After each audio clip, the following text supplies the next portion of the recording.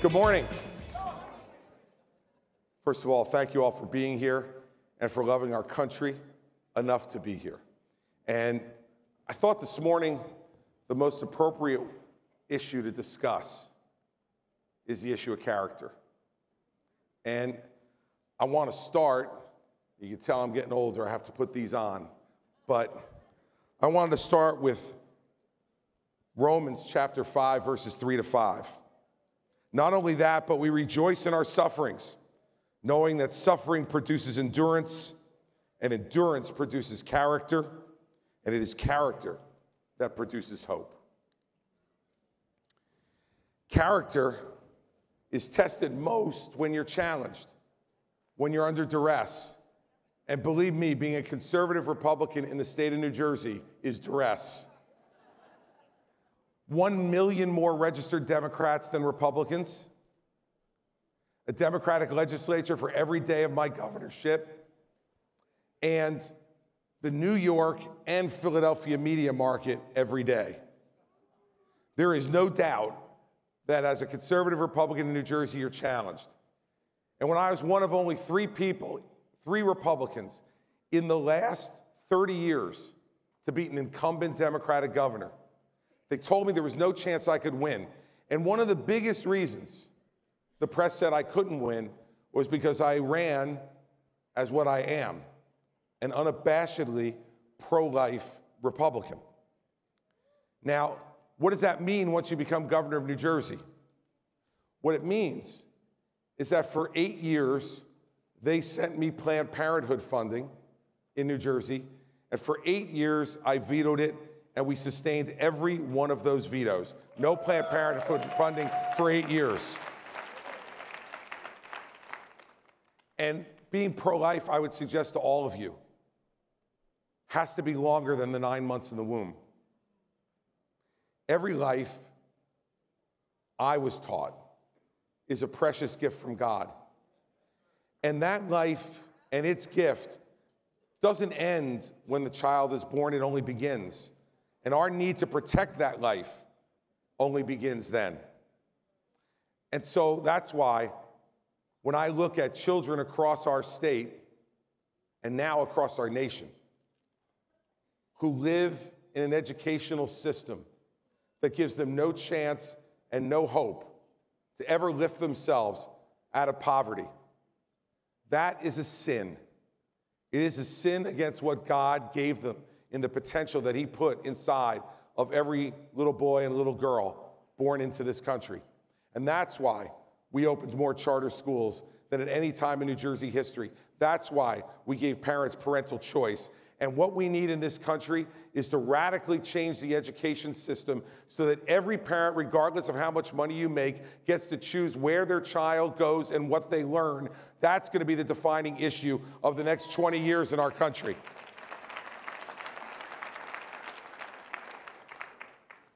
And when I was U.S. Attorney, I worked with Congressman Chris Smith to make sure that human traffickers were prosecuted not only in New Jersey, but all across our region. If we are going to stand up for the preciousness of life, we must stand up for the young women that are trafficked into this country, into the sex trade. Those people who profit from those young women need to be prosecuted and put in jail for the rest of their lives. I did the biggest one of those cases in the country's history. And character is important and has been important at every one of the moments in our country's history. Think about it.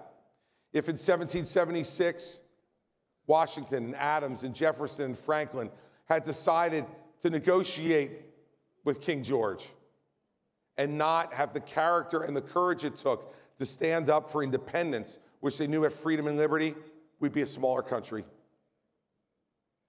If in 1861 Abraham Lincoln decided to give the South away, rather than stand up and have the character to say that a house divided against itself cannot stand, we would not have the country that we have today. In 1941, if Franklin Roosevelt hadn't said that Holocaust around the world and Nazi domination was something the United States was unwilling to live with, well, we would have been a smaller country today, not the leader of the world that we became.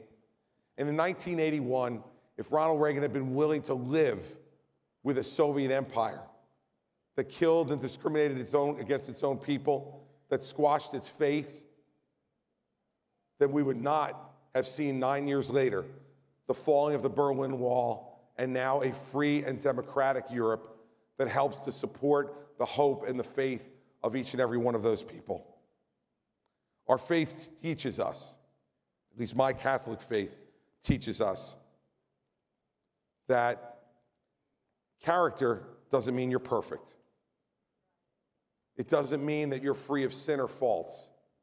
But what I believe my faith requires of me is when I do sin, when I do make mistakes, when people who work for me do the same, that I must admit it, that I must take responsibility, that part of getting forgiveness, whether it's from God or whether it's from the people who elected you when you make mistakes, is to first accept that responsibility and ask for forgiveness.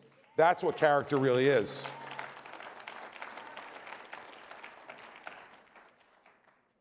Because beware, everybody, of a leader who never makes mistakes.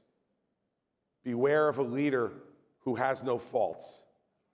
Beware of a leader who says that when something goes wrong, it's everybody else's fault.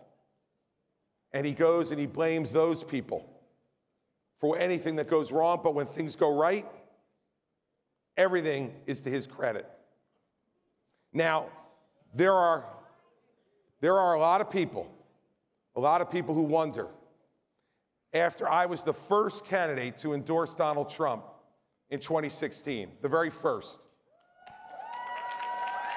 After, after he made me chairman of his transition, after he made me chairman of his opioid and drug abuse commission, after, and this one will keep you up at night, everybody, after I played Hillary Clinton in debate prep. You won't be able to sleep thinking about that one tonight. And after I played Joe Biden in debate prep in 2020, why am I running for president of the United States? I'm running because he's let us down. He has let us down because he's unwilling.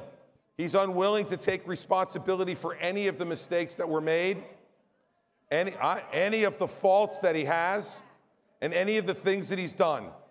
And that is not leadership, everybody. That is a failure of leadership. And I, you can boo all you want. But here's the thing our faith teaches us that people have to take responsibility for what they do. People have to stand up and take accountability for what they do.